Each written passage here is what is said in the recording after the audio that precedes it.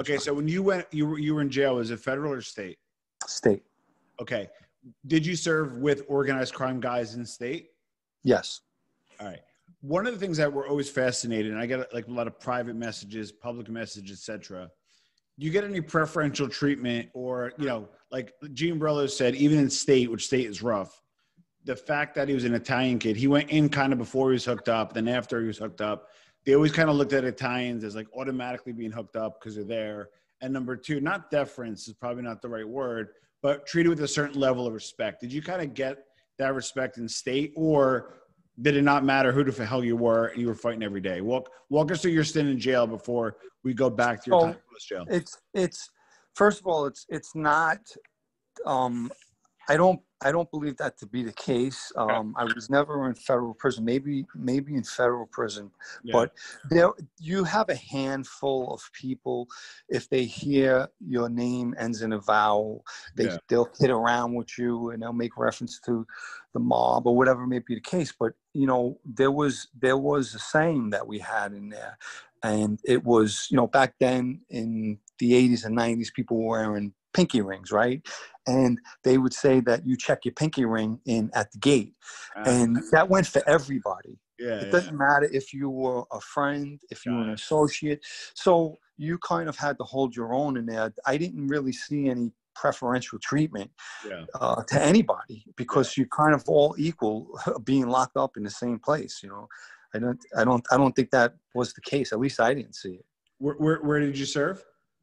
Um, I was in a few places, but the bulk of my time was in Fishkill, uh, New Now- York. Got it. Now, now in in jail, did you just gravitate towards like? Did you hang out with wise guys in jail?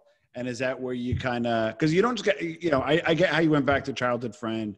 I get how you got like introduced quickly, but I'm guessing you probably hung out with some dudes that were connected, and then by virtue of that, that probably meant something when you went out. Because I know there's another story you're going to tell me later about somebody who helped something in jail and leveraged it. We'll get to that in a little bit.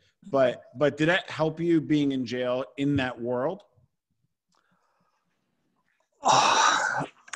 it's you know you're judged you're judged by the way you carry yourself. Got it, and, okay. and and that's really the answer and i guess that goes for in there and out here too. That's and true. that's that's just that's just the way it was. It wasn't that um um someone seen so and so with uh, a, a guy that's a, a friend in there and you know because of that if there's a problem there's not a problem for this guy you would still have a problem. You had to, you had to handle yourself Got it. Got it. Got it. Okay. So so hold on. So let's get back. So so you get out, John. You meet John Castellucci, who's a, is a captain, Correct. and you get introduced. Introduced. So give me kind of what happens and what happens next. Um, well, there was an incident again in the restaurant, and it was right before right before I met John. So let's just say two days before Joey takes me to John, there's another incident. I'm in the restaurant. Anthony Guzzo is not there, and the which which winds up becoming his wife, who was the owner. She becomes his wife later on, but at the time it's his girl. And her son comes to me and tells me that there's a guy acting up in there, and he's another. It was crazy because every everybody in that restaurant were big, uh, you know, another big monster guy, big big guy, and he was there, and it, and his brother-in-law was a Staten Island guy who I didn't know either one of them. And I went over to talk to the brother-in-law and just basically told him, "Tell your brother-in-law to calm himself down, or he's going to wind up getting hurt." And he went. It's funny because he goes outside. This guy and makes a telephone call and wants me to hear of all people who he's calling. He's calling Big John. Oh, And he says, "Hey, Big John." That's what he. Um, I'm standing there laughing because Joey tells me tomorrow we're gonna go to Staten Island. So I'm saying, look at this shit. So yeah. So anyway, John calls up Joey and says, "Do me a favor. Uh, your friend John is in this place, and tell him." Not to put his hands on this kid. He's my cousin, which he's not his cousin.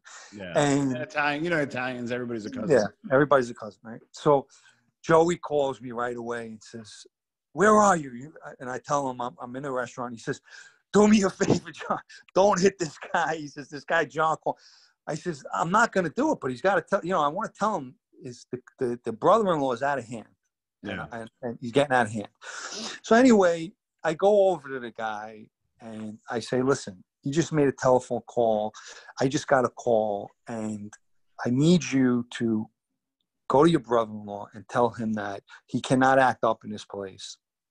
And that's what i want you to do right now. And everything's going to be fine. That's what i need you to do. And he Yeah. did it. And he, he admitted he says he's very drunk. He says my brother-in-law is greek and not that that meant anything. And and you know i'll talk to him and his wife's trying to and i was i was even more aggravated. I said you mean his wife is in it? Yeah he's got his and his daughter he had a little daughter